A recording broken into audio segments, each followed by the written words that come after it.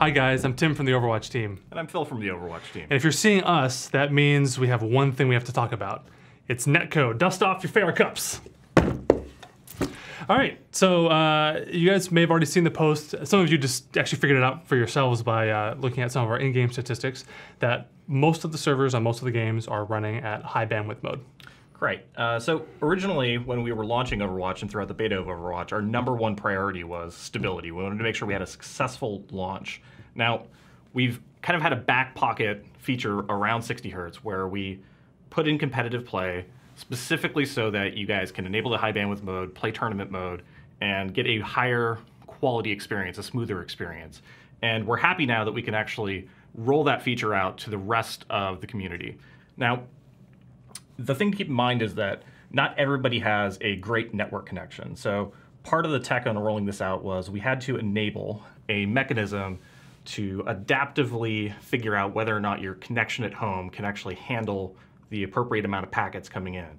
So as part of this feature rollout, on the server, we'll dynamically figure out whether or not you're syncing the packets appropriately and downgrade you or upgrade you uh, as necessary in order to make sure that you still have a quality experience no matter the quality of your connection. Yeah, the uh, deployment was important that this was not like an opt-in feature. We talked about before how the responsiveness of the server, basically the update rate at which you're going to receive data from the server, um, is uh, adversely affects you if the, the people shooting at you aren't getting at high update rate. So we want to make sure that everyone gets this high update rate. That's why when we enabled it, we enabled it for everybody. And if your specific bandwidth requirements don't quite meet what the game requires, it'll automatically duck you down and kind of bring you back to the level of update rate that we had before we introduced the high bandwidth mode. Uh, I want to talk a bit about what the gameplay ramifications are. These kind of recap what we talked about in the previous netcode video. That's why we have our three Pharahs here. So remember, in the middle here is the authoritative Pharah. This is the Pharah that is on the server that has received information about inputs from, uh, this guy over here, hi, from the, uh, the client controlling that particular Pharah. Uh, this Pharah over here would be the Pharah that remote users would see. This would be the target Pharah if you were shooting at her. Um, in all the cases, we talked about how your latency um, and the latency of the of the person in question will, will bring in the kind of the temporal and spatial distances back to the authoritative snapshot from the server.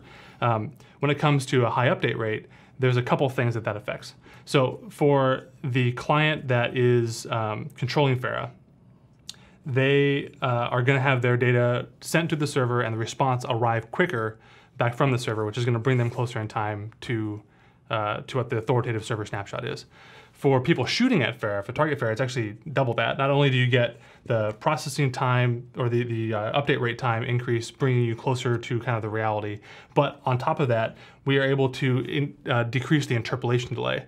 Uh, the first folks that actually found out about the high bandwidth stuff over the last couple days um, noticed specifically uh, up in the uh, the stats indicator in the upper left hand corner, there's a magical stat called IND that stands for interpolation delay. Usually it hovers around 54 to 55 if you have a nice clean uh, uh, clean throughput of data. It's dropped now to 20 because of that reduction. So we're basically bringing in both of these things. The net result of that is you will be shot around corners less. You'll be able to predict escape moves better, and the server will hear about it sooner. So if you if you got that blink off, the server is going to process that quicker, make you less likely to get hit by hooks. Remember, all of our stuff is still predictive, or the majority of the abilities you use are still predictive. So even though this is bringing you more closely in line with kind of the temporal authority of the server, there still will be cases where you'll mispredict. If you have a really high latency, for example, or even if you have a low latency and you know someone actually reacts within like a 20 millisecond window, that prediction will will fail. But it should in general feel better, and hopefully you guys have felt that. Absolutely. So uh, again, ultimately the thing that you need to keep in mind is that uh, if your connection is not actually keeping up, don't worry about it. We'll actually downgrade you appropriately. You'll see the interpolation delay increase. Everything's going to work out perfectly fine on that front. Um, some other notes. Uh, this feature is live now in quite a bit of the globe for PC. Uh, we're still investigating how we can roll this out on console, and there's a couple of regions where we're still rolling this out. So stay tuned and uh, let us know what you guys think. Yeah, please provide as much feedback as you can. We are still iterating on this. We want to make this the best netcode we can possibly make it, and we're going to do so with your help. Thank you guys so much. Thank you.